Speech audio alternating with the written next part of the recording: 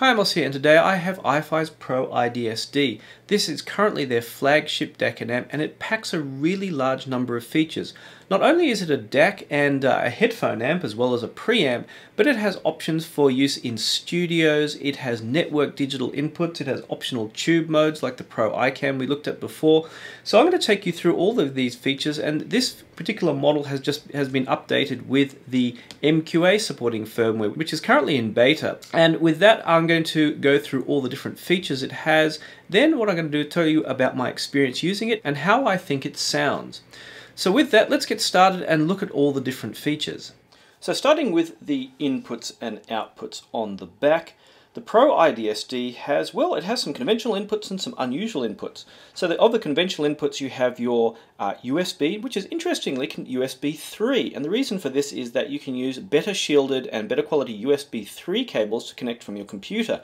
That's a useful feature that the iFi products have. Now, the USB uh, has as they, according to them, all the uh, clever tricks they use for their uh, kind of USB isolators and the noise reducers built in, so you don't need to use any special USB uh, you know, uh, noise reducers or anything else with that, they reckon. And they also have a standard SPDIF and uh, AES, which is AES EBU, is the pro version of SPDIF available.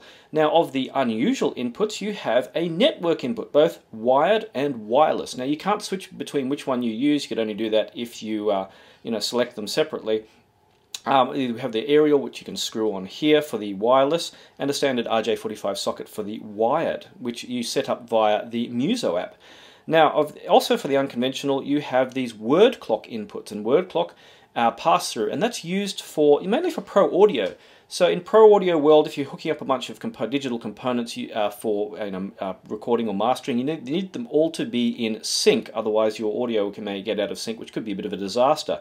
Now, in terms of high-end audio, some people use the word clock separately. Now, a digital signal, which you know, it's usually combined in things like AES and SPDIF, SPDIF and uh, USB, of course, but the actual digital signal inside a DAC is separated out into the data and then the clock signal which indicates to the uh, DAC what kind of uh, what data rate is being processed because if you didn't have a clocked data rate you wouldn't know if it was you know 40 uh, 44.1 48 or uh, or you know 96 or what have you that would actually be a big problem. So, but while it's normally combined with the SPDIF, you can actually use a separate word clock input and that can be, you know, if you have a high quality clock, and some people have uh, tried this with a high quality clock, it may improve the quality of the digital signal uh, and thus maybe the, the sound quality output as well. Now, you also have another input which is a USB input, which you can say plug in a thumb drive full of uh, uh, files, you know, music files, and using the Muso app you can play them back. Now, there's also a micro SD card slot, but you can just see I have a card in there, and you also play back files that are on that via the Muso app. Uh, the, of the outputs, you have the standard uh, RCA single-ended and you also have a uh, balanced outputs. Now you can switch these via this little switch here using a screwdriver and this allows them to be switched between uh, fixed output and variable output. Now fixed output of course if you just want to use it as a DAC to say an amp which has a uh, volume control and variable output if you want to use the volume control built into this say to active speakers or a, a power amp. Now, you also have the ability to uh, turn that to Pro mode, and Pro mode puts out a much higher voltage than used in standard stereo components, and that's used for, you know, Pro Audio systems which need a higher voltage for maybe, I guess, longer cable runs. I'm not a Pro Audio person, so I don't know in detail about that, but for most people would not use that Pro Audio output. You'd overload the input of a lot of amps actually trying to use that. Now, you also have for power input, you have a uh, power input socket, and you also have a pass-through, so the power supply that comes with this, you could also use it to daisy chain to a Pro iCan if you wanted to use both together with just one power supply. Now I don't know how many devices you can daisy chain before it starts to run out of steam, but um, yeah, it doesn't come with a cable to do this, but you just have to have someone make up a DC to DC cable. So now back onto the outputs, well I should say the headphone outputs and the controls. On the front you have many, many, many buttons and controls which can be rather confusing. Like the Pro iCam you have your volume on the right hand side and the input on the left and uh, this and the screen indicates which uh, input you're using. And you also have a digital filter control here. And one of the big deals about this is that they have a variety of digital filters you can switch from. It has an FPGA inside which will upsample and resample as necessary. You also have DSD upsampling which you can activate by pressing the button which we'll get into in a bit. Now, you also on the terms of uh, output, if you've seen the Pro iCan, it has uh, three gain settings, and this is inherited in the uh, Pro iDSD. You have uh, zero, which is probably suitable for IEMs. You have a gain of nine, which is most suitable for uh, regular headphone listening, and uh, 18 if you're using something like HE6s or Susvaras. Now, you also have the also from the Pro iCan, you have the Tube and Tube Plus mode. So you can have it running in solid state mode, you can have it running in tube mode, which uh, runs the uh, output through a uh, pair of tubes that are in here, and unfortunately not readily rollable because you have to disassemble the device to actually do that. Or Tube Plus mode, which removes some of the negative feedback, so you get a slightly more euphoric sound, maybe at the expense of accuracy. Now, powering on the, the Pro iDSD has some pretty cool features. For a start, it has a little uh, status light, obviously laser drilled into the front faceplate in the manner of the you know the little iSight cameras that Apple had, and it uh, flashes you know various colors depending on the status of the unit. Now, of course, when it's powering on, it's going to take a little while. You can see it's loading up the firmware into the FPGA there. But once it's powered on, it has a really cool feature. When you power it off, the volume control is turned down to zero. So, but when you power it back on, once this powers on, you'll see it will restore the previous volume that was set. In this case, I set it up kind of about halfway almost, and just as it's hitting now, almost there, and restoring last volume. I think that's pretty cool. Anyhow, if you don't want it to do that, obviously you turn it down to manually, uh, manually down to zero yourself before you power it off. Now once you've got that, you have a screen that shows a number, the status of the unit in a number of different ways. At the moment, it's showing PCM, so it's in PCM mode, and the current output frequency, which is 44 kilohertz because it's in bit perfect mode, in other words, non-oversampling mode. And you also show the input there, the uh, USB input, and it's in 44 kilohertz. Now, with the input selection, of course, you can turn this as necessary through to uh, the uh, ones desired. It also shows an optical input there. That's because in the box it will come with an optical adapter if you want to use optical with your SPDIF. Uh, also, you have, of course, BNC input for the word clock and uh, the uh, app input, which any of the app inputs will automatically select whether it's wireless uh, or the wired network or any of the through the Muso app if you start playing back through the micro SD card or the USB drive that it's attached. So I've got USB selected here. Now also the filters, you have, if you use a bit, bit perfect filter, obviously there's no oversampling. There's also the bit perfect plus mode. Now bit perfect, uh, normal, normal oversampling requires very heavy roll off uh, above, say, about 10 kilohertz because you get really severe aliasing, which is why you have digital filters in the first place. And you can see this in some of my other videos. Now, to avoid this roll-off, they have a special filter which will not uh, make reduce that slight kind of uh, dullness that you get with uh, non-oversampling. I haven't listened to it extensively, but that's what they reckon it will do. It won't work in all modes. It only, if you have uh, do your own uh, upsampling or oversampling or input DSD, obviously that won't work. It's only for use with uh, kind of low frequency, things like uh, regular CD quality or maybe not much higher uh, musical input. I think it's up to 96K. Anyway, you also have Gibbs Transient Optimized Filter, the GTO filter, which is uh, iFi's uh, special filter. It's a short uh, filter with an impulse response will have low, very short pre and post ringing. They, that's their ideal filter, they reckon, for that, for the four PCM1793 DACs that are inside the Pro iDSD. Uh, there's also an apodizing filter. Apodizing filters you see on uh, which have uh, AKM DACs built in there. Uh, that was a kind of big deal about about 10 years ago. They reckon that uh, some people reckon that having a filter where if you put an impulse response through and it had low pre-ringing but a long post ringing that was uh, kind of ideal. Anyway, that's there for people who are interested in that. They also have a high uh, a, a long filter, a high tap filter in the in the manner of Chord, 16,000 tap filter called the transient aligned filter. And that is, if you want the most kind of accurate output, you can get that. After those filters, you can also have DSD upsampling. So if I pop this in, you can either have DSD 512 or DSD 1024 upsampling done in the DSP uh, the uh, FPGA built into here. So you'll see that the, the output then indicates to 45 megahertz, or if I go back to the other one, the DSD 512, it shows uh, 22 megahertz. So with the existing filter in there, and this hap the DSD processing happens after the uh, PCM filter is applied to the input music. Of course, the DSD filter, and actually the filters in general, will not be applied to uh, DSD input. And the other thing they won't be applied to is MQA. Now, if I start playing back MQA on here, and the display will indicate the MQA output frequency. So the MQA bypasses all the other filters entirely, and is only output through the inbuilt MQA filter included. If you decide to switch from, say, solid state mode to the uh, tube modes, what will happen if you watch this little status light here when I click this, is that the status light will start to flash indicating that the tubes are warming up and that you need to uh, wait a little bit before they'll activate. Now I've already had the tubes warmed up here so it won't do that, so save you some time watching the thing flash, but it will cut out the output until the tubes are sufficiently warm to uh, output you know, without kind of that hum that you get when tubes are warming up. You also hear that the various outputs are delayed slightly. You'll hear the clicking in there. So if you accidentally switch, say, for example, to a, a high uh, gain output mode, you can switch it back before you blow your ears out. So. so with all these features available, it became quite an interesting task to get an impression of the sound. So I decided to start off in the most kind of technically accurate setup. So I have the transient aligned filter and the solid state output mode and no DSD upsampling whatsoever. Now I use that, we're plugged in using USB 3 to my 2012 Mac Mini and that is my Roon server and plugged as a preamp into an Audio-gd Master 10 which goes through to a pair of floor standing ELAC speakers.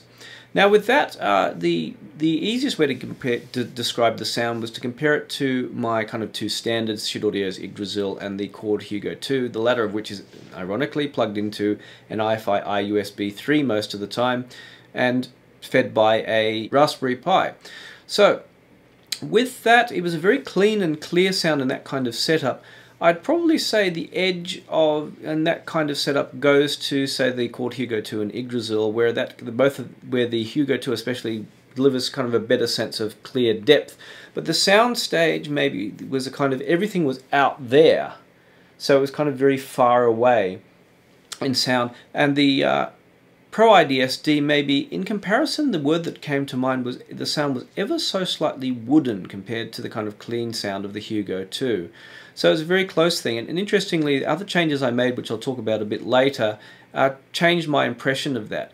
That from, from there, you can kind of sweeten the sound in various ways. And this goes back to the old classic uh, you know, arguments between, you know, do you want the most technically accurate sound or do you want the one that kind of gives the most feeling uh, and, and the most, uh, the, feel, the best feeling of how the music is. To give you an, an, analogy of how that works, for example, you know, if I go out and to say uh, take some photos of something in nature, say flowers or mountains or what have you, you know, I go out there and I feel, oh, this is such a wonderful place, and I, I want to capture that particular feeling. So I was out in Hawaii at one stage, and you know, the, the feeling of going and looking at the mountains there is absolutely incredible. But when you get back and look at the photos, they seem, oh, they don't give me the kind of the feeling I had when I was out there. So when I'm editing the photos, I might boost up, say, the uh, the color, the saturation, and the contrast a bit. And you see this often in professional photographs where they seem they're very color boosted to give you the kind of the feeling of what it was like to to be there and take the photo, even if it's not actually a, a natural representation of what's there. As much the same way with uh, digital to analog converters is there's the choice between the most accurate and versus kind of the maybe a slightly colored but kind of gives you the feeling brings out the feeling of the music. And I think iFi's preferred options are for the latter in this case. In with the former you know it kind of sounds very analytical but you would do it very enjoyable with the music and so that was a general setup with the uh, transient aligned filter and solid state mode. With the tube modes, well, you know, that didn't have as much of an effect as I expected. I do know, or now we do know from the Stereophile measurements, it does lower the sound by at least one decibel. And so I did feel it was very slightly quieter switching them in, so it was hard to directly compare, but maybe the sound was just a touch sweeter with you know the tube modes engaged, not as much of a dramatic effect as one might expect. I mean, you could open up the unit and put in different tubes to see how that goes, and that would be an interesting thing as well. But you know, maybe it just, for especially with the transient line filter, just took the edge off slightly, which was very pleasant. Now from there, there are other ways you can kind of uh, soften up the sound. Probably the obvious one is to go straight to bit perfect mode. Now bit perfect mode goes means non-oversampling. Now non-oversampling DACs are technically poor. I mean if you see uh, the measurements of a non-oversampling DAC, they compared to a, an oversampling DAC, you'll see that the uh, you know the the noise floor and the distortion increases dramatically. But actually in practical terms, you don't notice a a huge difference, but you do notice a significant difference in the sound. Although it doesn't, necess doesn't necessarily sound worse, it just generally sounds kind of softer and, and less clear, and instead of like wide and, and deep, it maybe sounds more closed in and narrow. Uh, depending on the you know the setup, it might bring out the might you hear the uh, instruments slightly differently. And I think a lot of people prefer this, especially listening to, say, maybe classical music or jazz, or listening to instruments in general, as you know, the instruments can sound too sharp with a with a with a regular, accurately tuned DAC sometimes. Um, that could a lot have a lot to do with the recording as well. And some people just like that softer, gentler sound that sounds more euphoric, and you know the distortion that's introduced, you know, thing by things like tubes or by things like non-oversampling can sound more pleasant.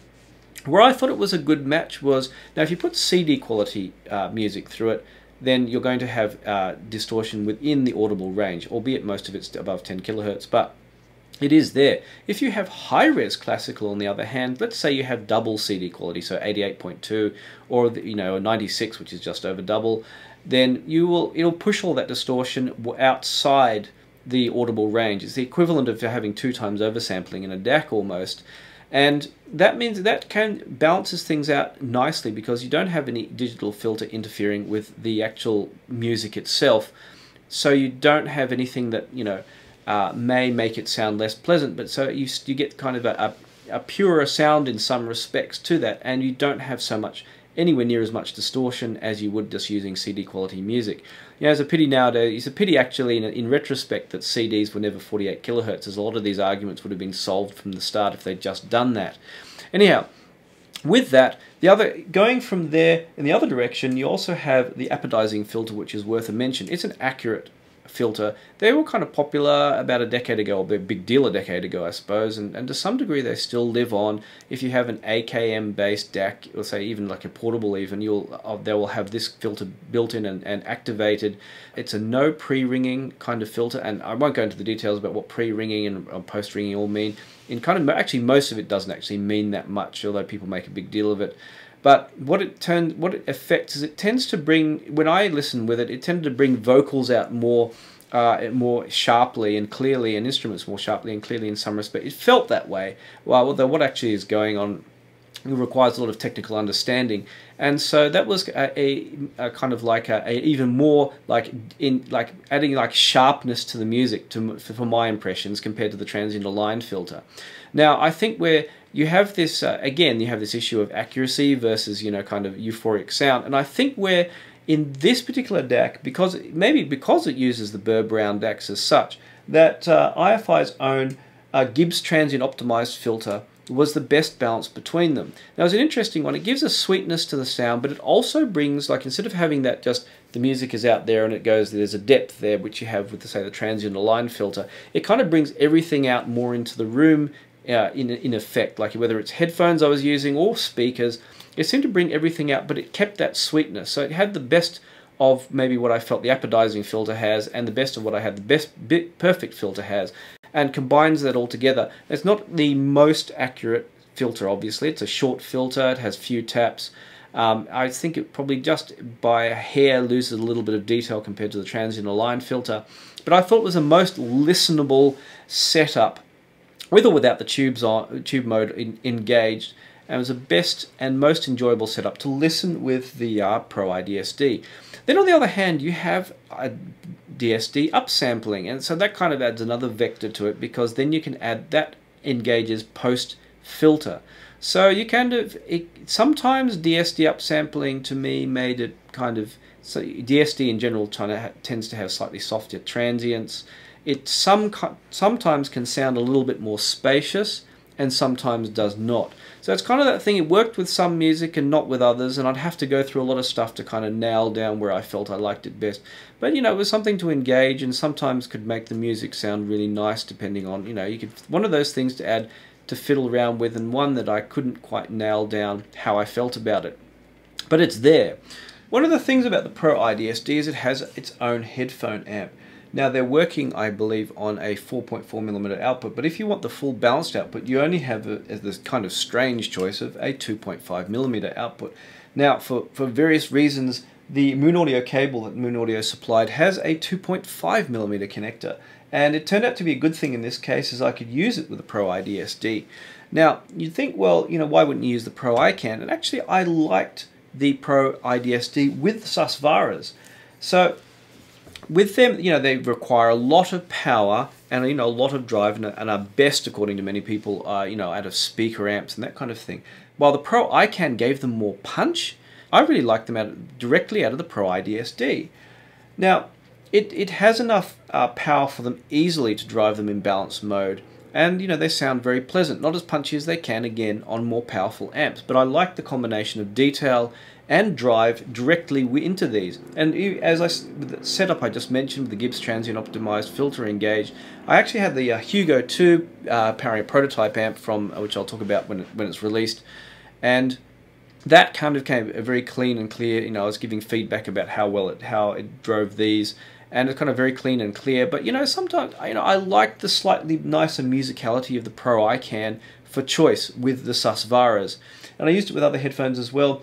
The only problem I had was with IEMs, and it was a problem I had with the uh, wireless, where the um, the wireless circuitry can't be shut off, and with the aerial on there, and sometimes with even with the aerial off, uh, very very sensitive IEMs such as the Campfire Audio Solaris you could very hear some noise going on in the background from the electronics. So that was the only kind of negative about that. Also, using it as a preamp, it worked very, very well. I used it directly, as I said, to the Master 10, to the speakers, and I, that was an easy setup to use because I could switch stuff here, and now I've got a long set of cables that go down to the amp, and that worked perfectly. And again, the only problem I had with that is I used it as a DAC to another headphone amp, actually the SoundAware P1. And when I tried to plug in IEMs to the SoundAware, well, it picked up a whole lot of noise from the Pro iDSD.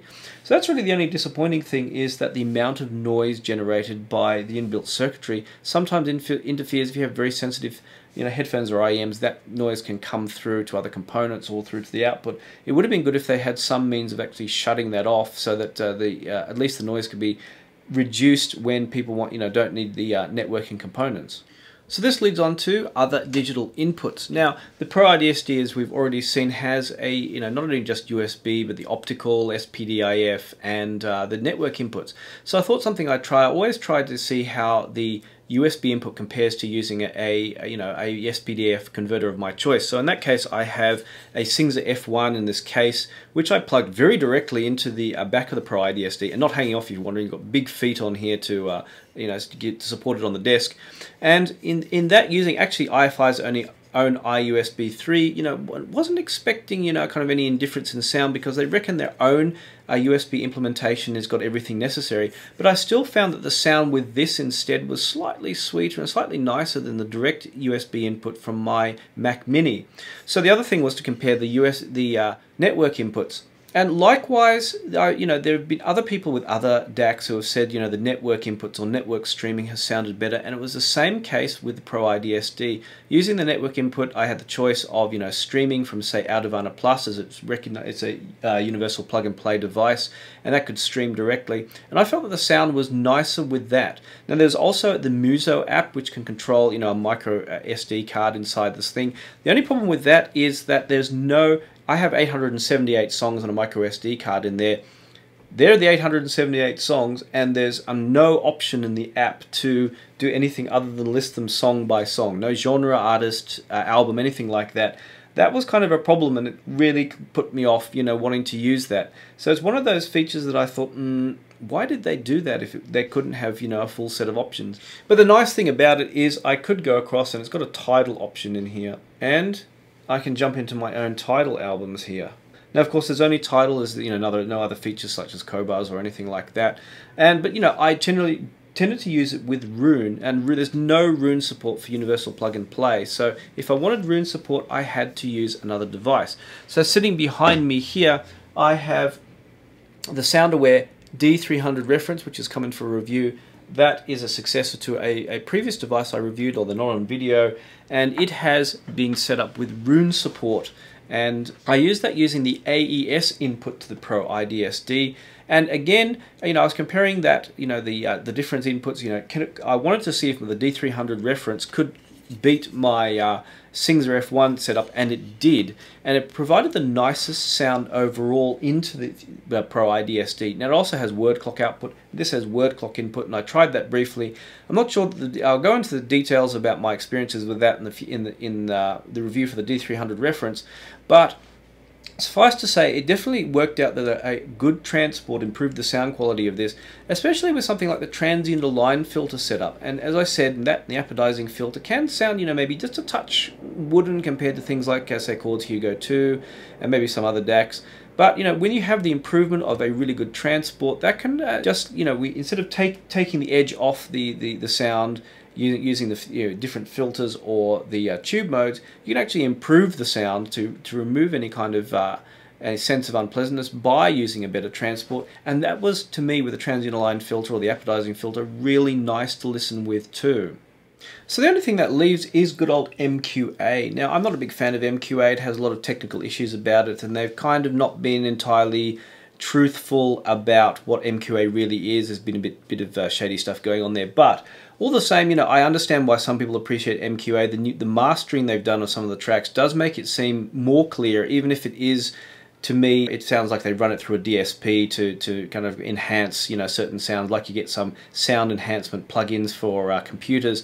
But all the same, if you do like MQA, that did work very well. I did interestingly compare, you know, the sound using not uh, bypassing the MQA filters and just using the MQA filter, and the MQA filter for MQA did sound a little bit better for whatever reason. So the only thing is that the current firmware is in, in beta and the MQA firmware tends to be a little bit flaky and I've had the odd shutdown and, and what have you. And the MQA, they released the uh, Pro iDSD long before they uh, actually had MQA working, even though it said they would have MQA in the instruction manual. So it's been kind of a, a, tough run for them. And it's one of those things that'll iron itself out in the end, and it's probably not so critical because the firmware will eventually become good, and they've done a huge amount of work to get it going as it has. But if you, for people who like MQA, I've just got it streaming now, MQA, over Universal Plug and Play from Out Audirvana Plus, and it works fine in that way. So ultimately, iFi have done really, really well in trying to cram so much stuff into this little unit. I've never seen anything with so many features and so many options in such a small package. For that for better or for worse. For the better, the sound is really up there with the uh, $2,500 DACs and DAC amps, things like Hugo 2, Schiit Audio Yggdrasil, you know, Audio-gd R2R7. It's very worthy entry into that level. The negatives are you can't shut off the wireless and for me it was injecting sound into the system and it's a small box, an external power supply. And at least for its credit, you know, if the power supply dies or something like that, you can replace it. And But if you do have a good transport especially, or even if you don't, it will still give you an excellent listen and it works really, really with, well with headphones on its own. Again, not as powerfully as some large amps do, but you know, as I said, even with the really power-hungry Susvaras, I really like the Pro iDSD just on its own. Unlike other DACs, you, it gives you a lot of variety of how you how you listen. You can listen to the most eh, accurate sound on the one hand, or you can listen to a more euphoric kind of sound. And I really like the kind of euphoric presentation. They're set up with the Gibbs transient optimized filter and the tube modes, and it added just you know just hit the spot between accuracy and kind of euphoric sound for me. And so in that way, I really really enjoyed it when it goes. And in some respects, I'm going to really miss it. So I hope you found that review useful. And if you did, please give it a thumbs up and also become a subscriber if you'd like to see more. And also I'd like to thank the people you see online. Those people for sending me you know, a couple of bucks a month or more have helped support make these videos. And if you'd like to become a supporter, check out the links on the screen or in the description. And those people get to see these takes and reviews in advance without ads. And they also go in the draw to win stuff that had been sitting around in my cupboard for a while, you know, audio gear that manufacturers have sent me I don't need anymore. So if you'd like to join our little community of supporters, please do consider signing up below. Again, thanks very much. And if you have any questions, comments, or including constructive criticism, please do post them in the, in the uh, comments below. If you do buy or own a Pro iDSD, Tell me, tell me what you think of it. Did my was my video accurate? Let me know and post in the comments below. And otherwise, I'll see you online.